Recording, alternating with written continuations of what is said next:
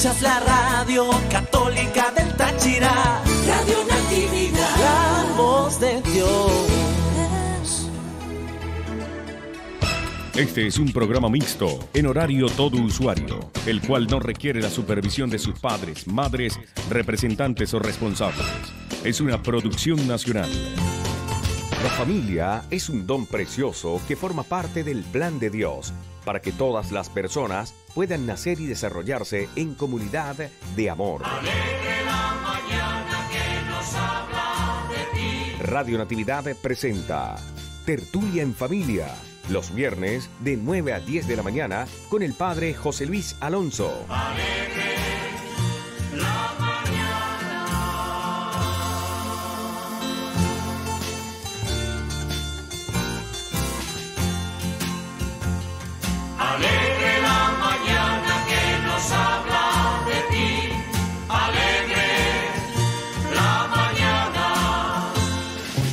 Dios, Jesús su Hijo muy amado, hermano nuestro, y el Espíritu Santo quieren llenarles a cada uno de ustedes con todas las bendiciones en el cuerpo y en el alma. Vamos a escuchar la palabra de Dios para que nosotros vivamos llenos por dentro, para que seamos vivientes, para que reflejemos a Jesús. Hijitos, amemos de verdad y con obras, convencidos de que amando somos de Dios. Logramos la verdadera paz en nuestro corazón delante de Papa Dios porque Él que nos ama, el que no nos, no nos ama, permanece en la muerte. Palabra de Dios. Te alabamos, Señor. Es Dios, el Espíritu Santo, el que con su luz divina, de día y de noche, ilumina nuestra mente y nos hace comprender de muchas maneras que cada uno de nosotros hemos nacido por amor en el corazón de Papa Dios y hemos venido a este mundo para aprender a amar, ya que si somos imagen y semejanza de Dios, nuestra verdadera grandeza personal, nuestra categoría divina, nuestra felicidad, santidad y salvación eterna están en parecernos a Dios por el amor, ya que si Dios es amor, nuestra primera y principal tarea ha de ser cada día aprender a amar. Cada día, todos los días, seamos varones o mujeres, casados o solteros, ricos o pobres, profesionales u obreros, habitantes de una ciudad o moradores de una aldea, Dios Espíritu Santo nos recuerda a todos, a cada uno, que hemos de poner alma, corazón y vida en vivir unidos a Jesús. Quien nos pide, nos manda una tarea increíblemente apasionante. Permanezcan en mi amor. Todo ser humano normal declara, asegura que quiere amar, pero amar de verdad no podemos lograrlo por nuestro esfuerzo personal. Necesitamos la ayuda divina al Espíritu Santo. Vivir continuamente unidos a Jesús, permaneciendo siempre con esa humilde y decisiva voluntad. Aprender a amar. Pretender amar de verdad sin la ayuda divina sin el Espíritu Santo es una ilusión, un autoengaño, algo imposible. Y aunque tengamos muy buena voluntad y nos inscribamos en talleres especializados, hagamos esfuerzos increíbles para aprender a amar, advertiremos que no logramos lo que tanto deseamos. Amar de verdad, amar con fidelidad, día tras día, hasta el fin, es don de Dios que todos necesitamos pedir en oración humilde y perseverante, colaborando nosotros con nuestra pequeña buena voluntad, tratando de quitar nuestro egoísmo, el pecado, dejándonos amar por Dios, movidos por el Espíritu Santo, ya que tenemos que poner nuestra pequeña buena voluntad y rechazar decididamente todo pecado, por pequeño o por insignificante que nos parezca.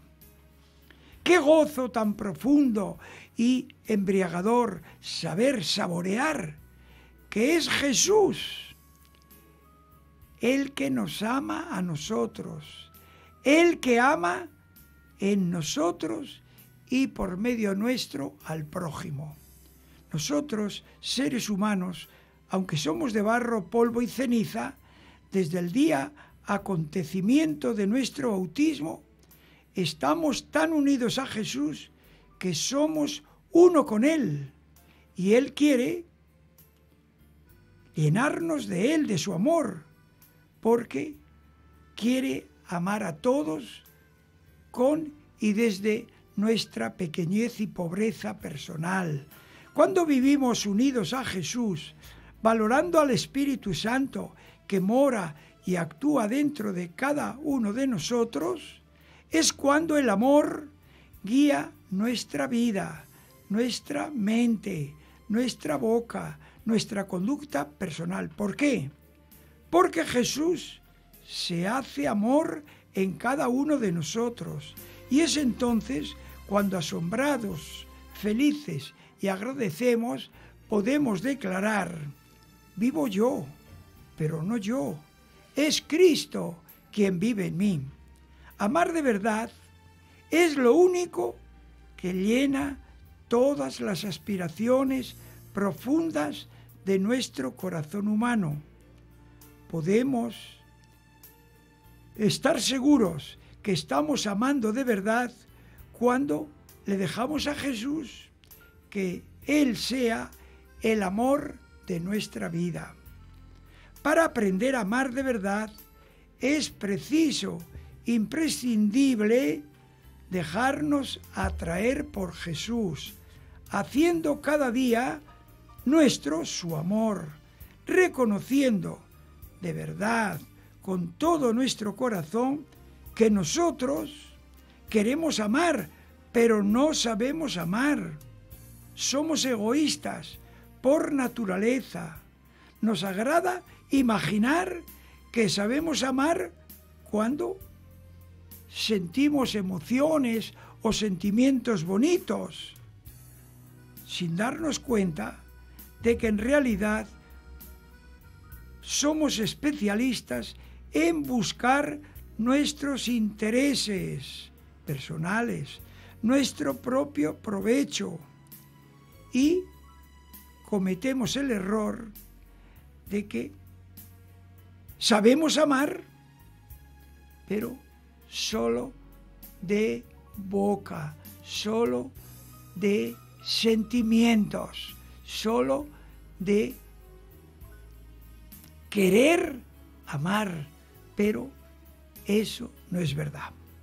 Cada día el Espíritu Santo quiere que vivamos de verdad, que seamos vivientes, que vivamos llenos de amor, que nos dejemos guiar por Él, por el Espíritu Santo, buscando siempre agradar a Papa Dios, sirviendo, ayudando, alegrando, facilitando la vida a cuantos más podamos, ya que todo lo que hacemos a nuestro prójimo, se lo hacemos al mismo Jesús, que está disfrazado en cada persona, sea varón o mujer, sea conocido o desconocido, sea familiar o sea lejano. Sabiéndonos muy amados por Jesús, saboreando su amor cada día desde las cosas simples y sencillas de cada día, convencidos de que es Papa Dios el que nos concede abundantemente todo para que lo disfrutemos. Y todos hemos de gozarnos, de poner alma, corazón y vida en alegrar, facilitar la vida de cuantos más podamos, ya que nuestro empeño continuo ha de ser graduarnos en el amor, con y desde los detalles con que el amor está hecho, con gestos, con mimos pequeños, aparentemente insignificantes. Cuando nos decidimos a salir de nuestra comodidad para ayudar, servir, alegrar la vida de las personas, empezando, claro está, por los que viven en nuestra propia familia.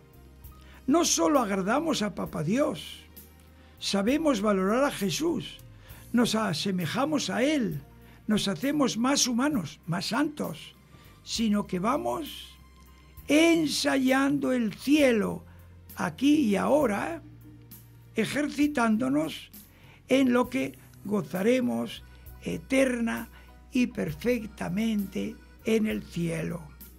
Movidos por el Espíritu Santo, iniciaremos cada día pidiéndole con todo el corazón, con humildad, con alegría, que Él nos ilumine con su luz divina y sea Jesús nuestro amor, el que nos ame y ame a todos en nosotros y por medio nuestro. Recordemos siempre, meditémoslo sin cesar, el amor verdadero es una decisión. Es cuestión, tarea de nuestra propia voluntad, ya que es muy fácil sucumbir, autoengañarnos pensando, ya no siento nada hacia mi esposo, hacia mi esposa, por lo que todo acabó entre nosotros y podemos divorciarnos, convencidos de que el amor se acabó entre nosotros. Esta forma de pensar, de identificar a los sentimientos que van y vienen con la voluntad o la decisión de amar, es terrible y trágica. ¿Por qué? Porque una cosa son los sentimientos que aparecen y desaparecen por muchas razones y otra muy distinta y diferente, el amor decisión. Todos, casados, solteros, sacerdotes, monjas, apoyados humilde y continuamente en Jesús, valorando cada día más al Espíritu Santo que vive y actúa dentro de cada uno de nosotros, nos dedicaremos a mimar, promover, fortalecer nuestra voluntad, nuestra decisión personal de darnos, de salir de nosotros mismos, buscando solo el bien, el beneficio de las personas.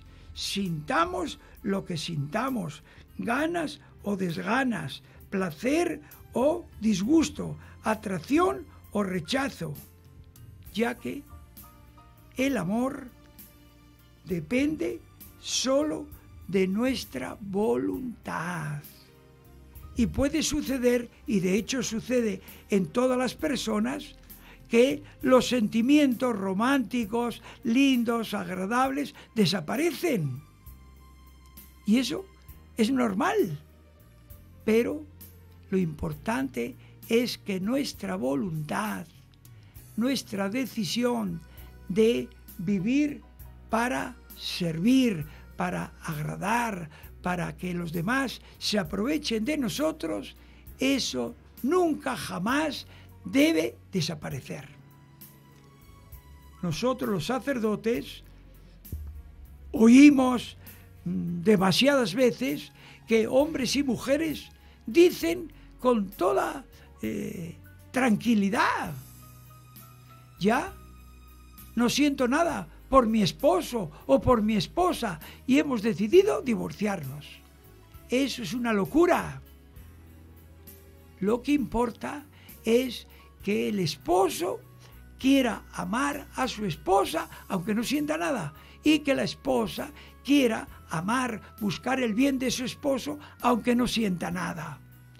Esto que parece tan simple y elemental como decir que hoy es viernes, esto ha llevado a muchos fracasos en muchos matrimonios, sacerdotes y monjas. No, hemos de tener claridad. Los sentimientos no son lo importante. Pueden aparecer o pueden desaparecer. Pueden, podemos tener sentimientos muy bonitos, románticos, gratificantes, fascinantes. Eso es bueno. Pero si desaparecen, no tenemos que echarnos las manos a la cabeza y crearnos un conflicto. No, tenemos que decir, yo seré lo que yo decida ser con mi voluntad y la gracia de Dios. Así que hermanos, esto lo tenemos que compartir entre los esposos, entre los hijos, entre las amistades, si somos religiosos o religiosas o sacerdotes, que el amor es una decisión. Tengamos sentimientos o no tengamos, sean sentimientos bonitos o sean sentimientos terribles, porque eso no depende de nosotros, pero la voluntad sí depende. Así que el Espíritu Santo nos dice a cada uno de nosotros, amen de verdad, con obras, convencidos de que si amamos, somos de Dios.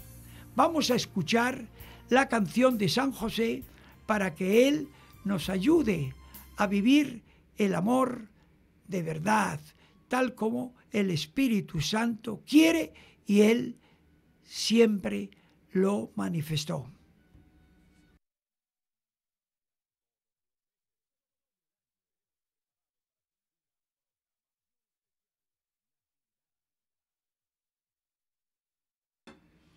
Todos nosotros hemos de gozarnos, de honrar, de amar, de imitar a San José, sabiendo que Él es el santo por excelencia. Y tenemos una deuda impagable de gratitud con Él, porque nos dio los tesoros más grandes y más valiosos de todos, al Hijo de Dios hecho hombre y a la Santísima Virgen María, nuestra Madre. Hemos de verle como el santo de los santos. ¿Por qué? Porque nadie ha tenido la santidad tan perfecta, tan completa, tan admirable como San José. Pero no podemos idealizarle y ponerle tan arriba, tan arriba, tan arriba, que digamos es un santo imposible de acercarnos o de imitarle.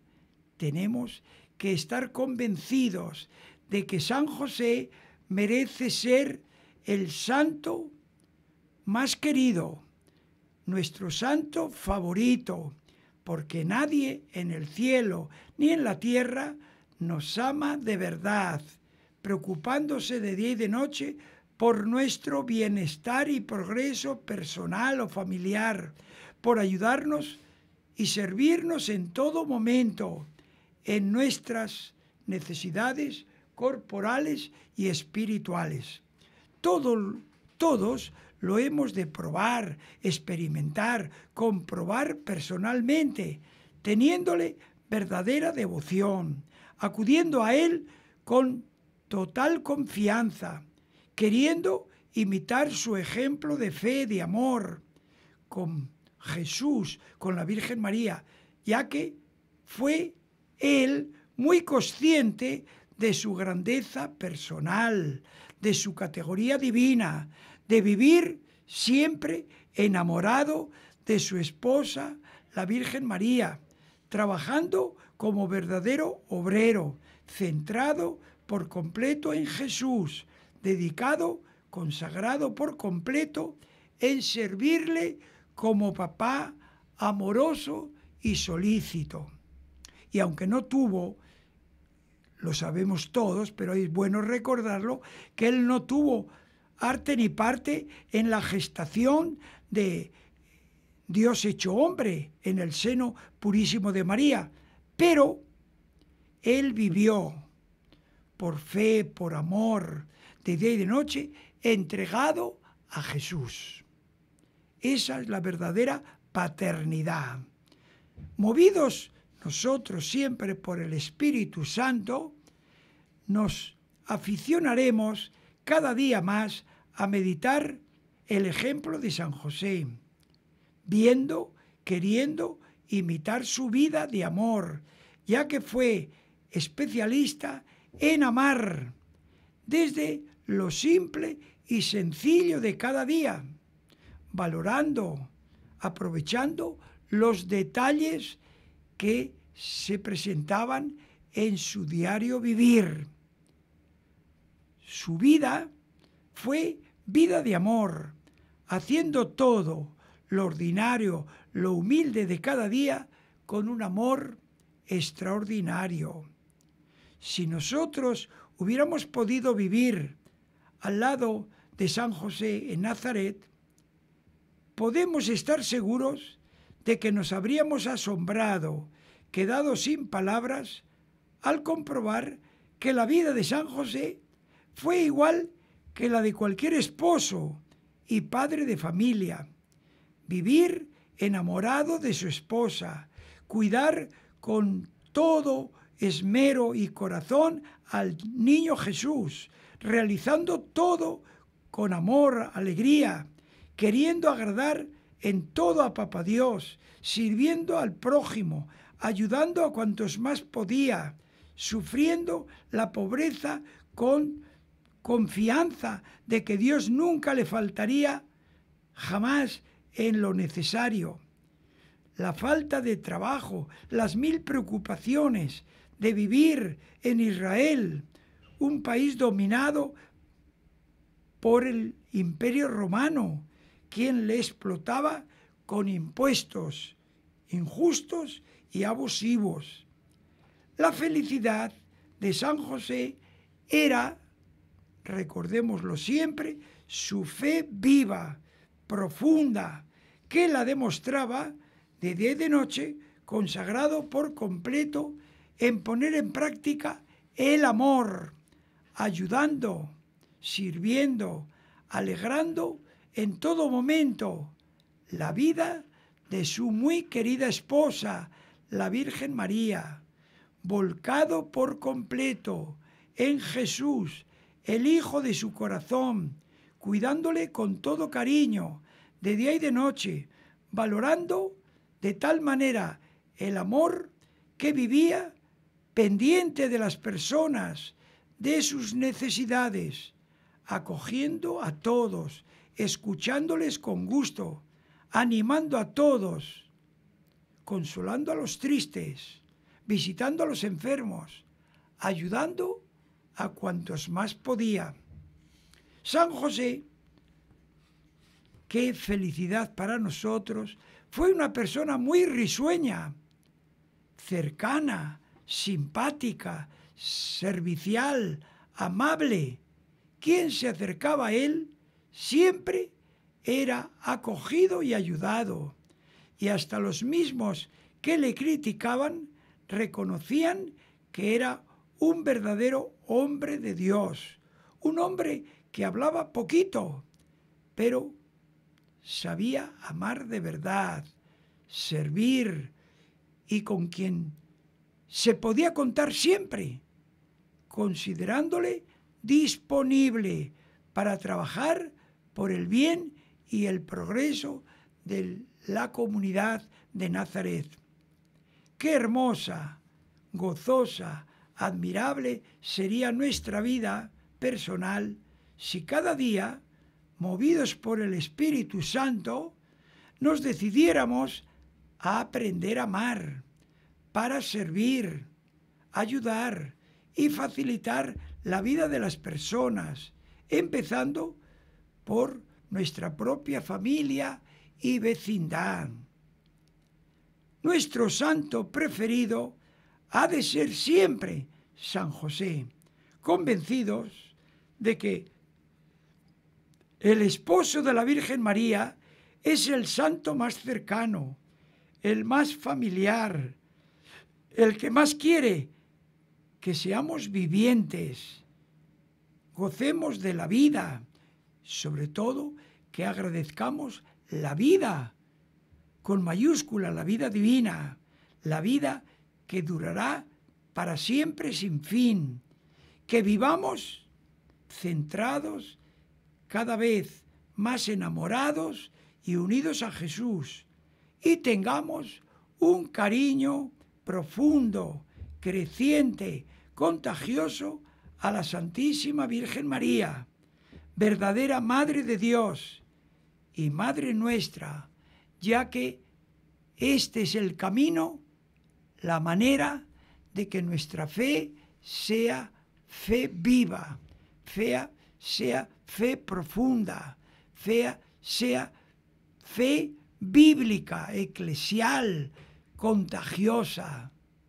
No caigamos en la trampa de tener creencias, yo soy bueno, yo cumplo, yo hago las cosas bien. No, no, tenemos que decir, la fe es vivir con Jesús y hacerlo todo con el amor y la alegría del Espíritu Santo, buscando siempre el bien del prójimo.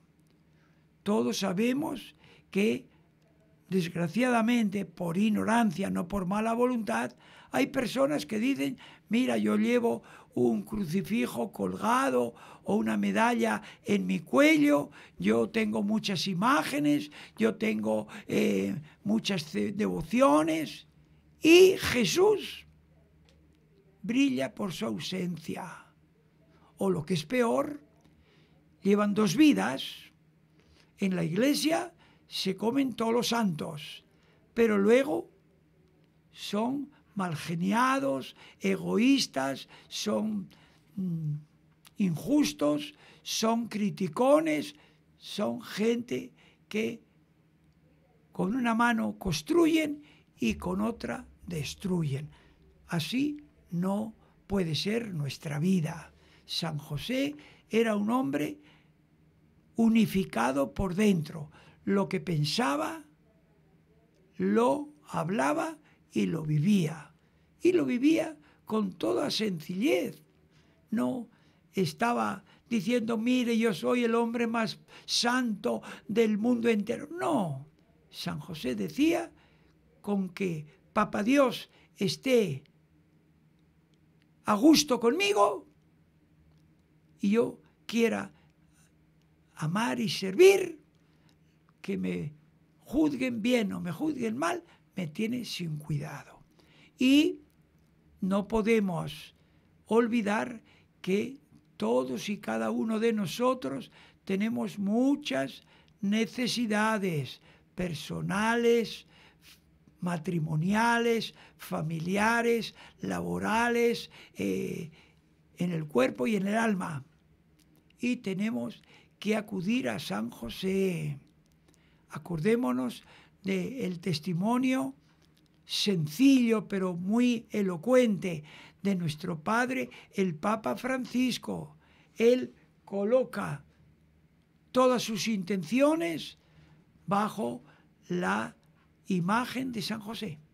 Y el Papa dice con toda alegría que San José siempre le favorece y le ayuda.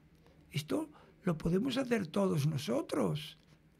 Esto es acudir a Él con toda confianza. Pero imaginémonos que uno pide, yo quiero que me toque la lotería. Y San José dice, no, no, no. Si te toca la lotería, te haces soberbio, te haces orgulloso, te haces vicioso, no te conviene. Te voy a dar otra lotería, la lotería celestial. Por eso siempre hemos de acordarnos lo que nos decía en estos días la palabra de Dios en el libro del Génesis. Acudan a José y hagan lo que Él les diga. Qué programa de vida tan práctico, tan provechoso, que lo tendríamos que hacer programa de nuestra vida personal. Y como la Virgen María es inseparable de San José, y San José es inseparable de la Virgen María, vamos a escuchar una canción ¿eh? para que crezca nuestro cariño filial entrañable a la Santísima Virgen María, nuestra Madre.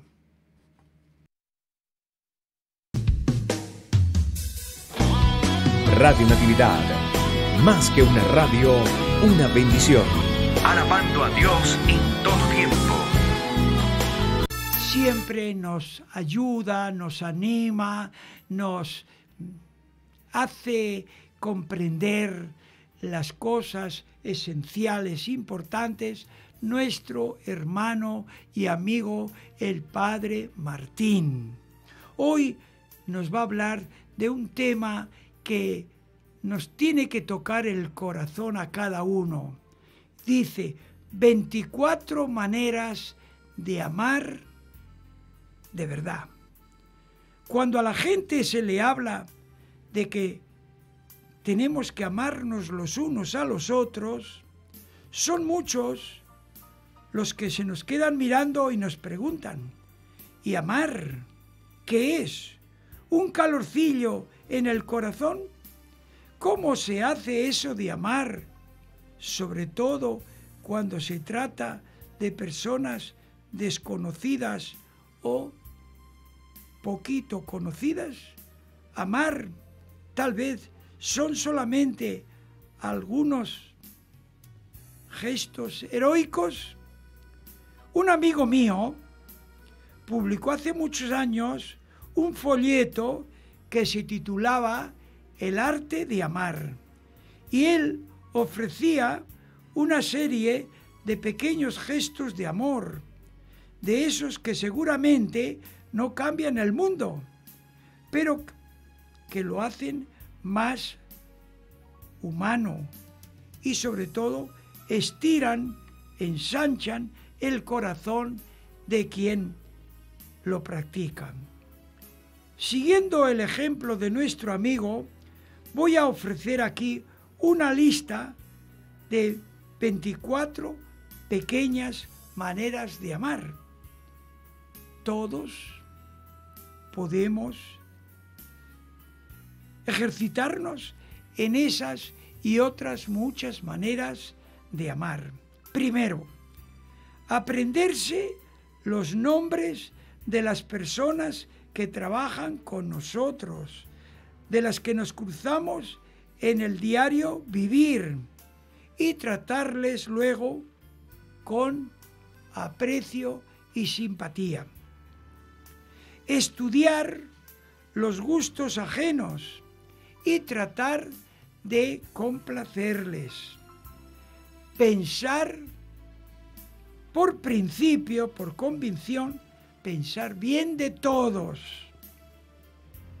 Tener la manía de hacer el bien en esas pequeñas oportunidades que se nos presentan cada día.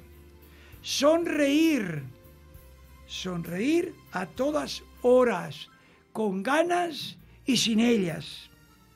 Multiplicar el saludo, incluso a los desconocidos. Visitar a los ancianos, a los enfermos, sobre todo si son crónicos. Prestar libros, aunque tengamos el riesgo de perder alguno y devolver los libros que nos prestan. Hacer favores, esos simples que los tenemos todos al alcance. Tener paciencia con las personas que nos caen pesadas. No poner cara de amargados cuando nos están hablando. Tratar con los que son antipáticos.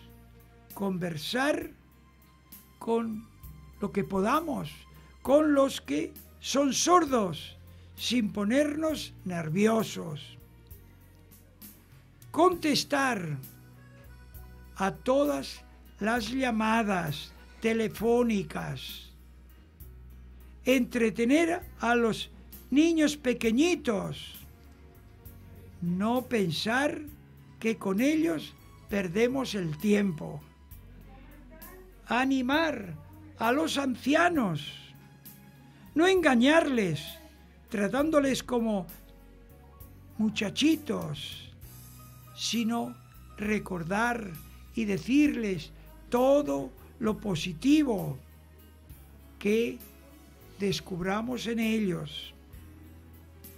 Recordar las fechas significativas de las personas y sobre todo el cumpleaños y ojalá también el día del bautismo de familiares y conocidos hacer regalitos chiquitos que demuestren el cariño, pero sin buscar que nos compensen con otro regalo. Acudir puntualmente a las citas, aunque tengamos que esperar nosotros. Contar a la gente cosas buenas. Que alguien haya dicho de cada uno de ellos, dar buenas noticias, no contradecir por sistema a todos los que piensan distinto que nosotros, exponer nuestras razones con serenidad, con simpatía, sin tratar de aplastar o agobiar. Cuando tengamos que pedir algo, hacerlo con suavidad, con amabilidad. No gritar nunca a nadie. Corregir con amor, de tal manera que vean que nos duele el hacerlo. Esto, como podemos entender todos muy bien, lo puede hacer un niño a su manera, un joven, un casado, un soltero, un santo y uno que todavía no es santo. A veces los seres humanos pues tenemos demasiada imaginación y decimos yo por mi esposa o por mi hijo yo daría un riñón o daría vaya usted a saber qué. Y eso es prácticamente o casi imposible. Y no le hablamos con cariño, no le sonreímos, no le acariciamos, no le elogiamos. Fíjense, soñamos con lo imposible y nos olvidamos de lo posible, de lo que está al alcance. Los santos han sido muy especialistas en los detalles. Para ellos, sonreír o elogiar o hablar bien de las personas era, eh, como dijéramos, como la respiración de su corazón. Y esto es lo que nos hace semejantes a Jesús. Nada de soñar, decir yo voy a hacer esto, lo otro, voy a hacer cosas imposibles. No, no, no, no, no. Tenemos que ser cuidadosos de aprovechar las circunstancias. Voy a agradar a los que más pueda. Voy a sonreír, voy a elogiar, voy a acariciar, voy a eh, recordar las cualidades de las personas, les voy a hablar con bondad, con amabilidad, con generosidad. Estas 24 maneras de amar las podemos multiplicar cada uno de nosotros. Esto está al alcance de todos. Díganme ustedes, ¿no se puede dar una palmadita a una persona? ¿No se le puede decir a una persona, te aprecio, te admiro? ¿No podemos elogiar a quien nos ha atendido con gusto, sea en una oficina, o sea en una buseta, o sea en la entrada de nuestra casa. Tenemos que pensar. Lo que llena el corazón humano es el amor, pero no el amor espectacular, el amor eh, increíblemente eh, maravilloso. No, el amor de las cosas pequeñas. Tenemos todos infinitas posibilidades para manifestar la riqueza de nuestro corazón. No somos capaces de decir a una persona, ¿sabes una cosa? Eres una persona muy linda. Y a lo mejor eso hace el milagro más increíble e inesperado. Acordémonos, eh, creo que lo he contado en alguna ocasión, una maestra eh, veía a un niño todo eh, arrugadito, asustadizo, nervioso, se acercó a él y le tocó la cabecita y le dijo, qué lindo niño eres, qué bonito estás haciendo el trabajo de tu formación. Ese niño se echó a llorar porque nunca nadie le había elogiado, nadie le había dicho una palabra eh, de ánimo, de confianza, de felicitación. Y este niño, pues cuando creció, quiso que su madrina en el matrimonio fuese su maestra, su profesora, porque le había despertado su valía, su categoría personal. Y todos los años este hombre ya con sus hijos iba a visitar a su profesora. una palabrita, un elogio, una felicitación. ¿Quién no lo puede hacer? Es lo que hace Jesús con cada uno de nosotros. Cuando abrimos los ojos, nos mira con inmenso cariño y nos dice, te amo como si fueras el único ser humano en todo el universo. Yo quiero hacer cosas hermosas en este día, en tu vida y en otras personas. Y Jesús nos demuestra su cariño, animándonos, sonriéndonos, eh, dándonos eh, demostración de su bondad, de su generosidad. aunque a veces estamos distraídos, estamos desparramados, estamos fuera de nosotros. El amor es una decisión y tendríamos que decir todos, solo por hoy yo voy a tratar de graduarme en el amor. ¿Cómo? Con lo sencillo. Voy a sonreír, voy a eh, felicitar, voy a elogiar, voy a mm, manifestar que a las personas que las valoro, que las admiro, que las tomo en cuenta, que son importantes para mí, que estoy agradecido con ellas. ¿Cómo cambiaría nuestra vida si nosotros tuviéramos ese empeño? A veces las personas nos mm, autoengañamos diciendo yo soy el licenciado no sé cuánto, soy el doctor no sé qué, soy el monseñor no sé qué. Todo eso es muy secundario. Lo importante es que digan de nosotros, qué persona tan linda es usted.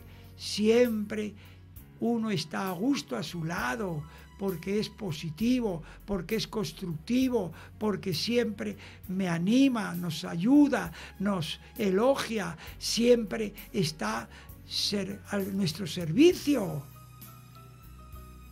Este es el camino de la santidad. No podemos estar haciéndonos eh, castillos eh, de imaginación decir, no, yo me, cuando veo a esta persona me emociono, me pongo a millón. Y te quedas solamente en ese sentimiento. Nada, tú eres muy sentimental, tú eres muy emocionante, pero no sabes amar todavía.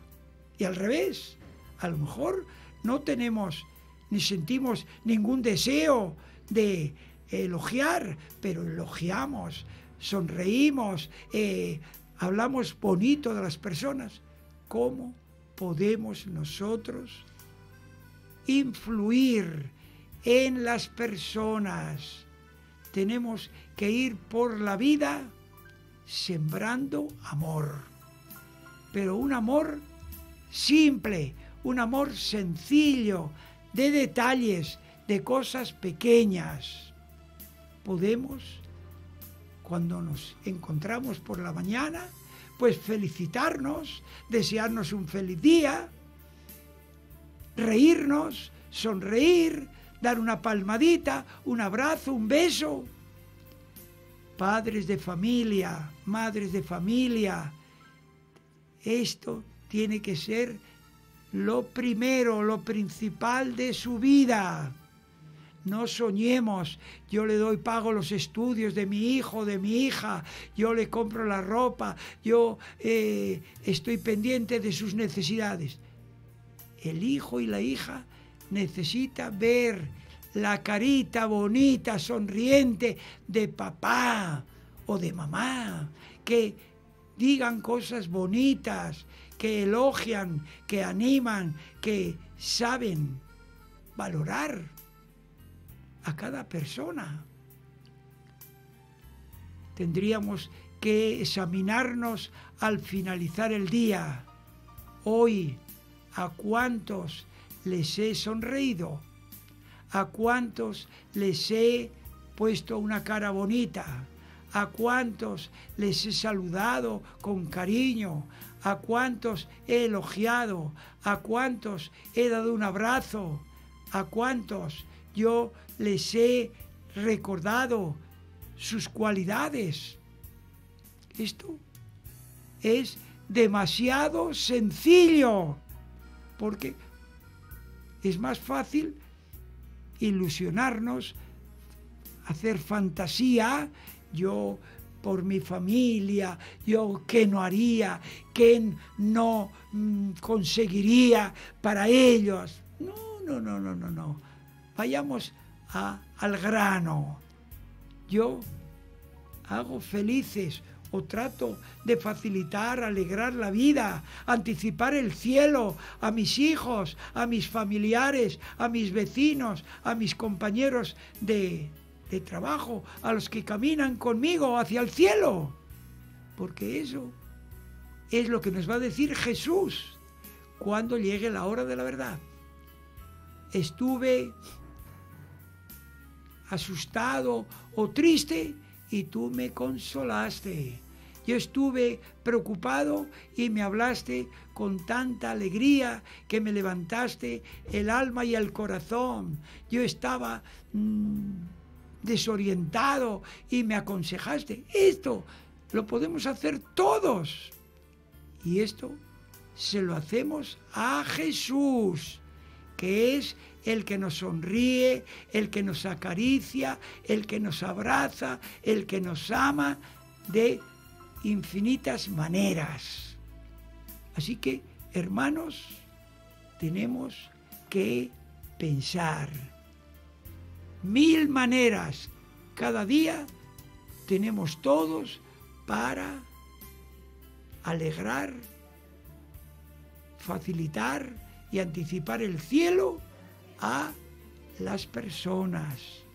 Nada de poner cara feita, de estar eh, mm, amargaditos y pellizcando a las personas. No, señor, tenemos que ser especialistas, graduarnos cada día un poquito en el arte, en la ciencia del amor. Eso es lo que espera Jesús de cada uno de nosotros. No podemos defraudarle. Y como el reloj nos recuerda que tenemos que despedirnos, a todos muchas gracias por su amable atención y damos gracias también a nuestro amigo Abraham y a la niña, a su esposa Raquel, que calladitos nos demuestran que el amor también se hace en silencio no querer figurar para que otros puedan hacer o podamos hacer nuestra obra. A todos feliz día y que todas las bendiciones de Jesús sean para cada uno de ustedes.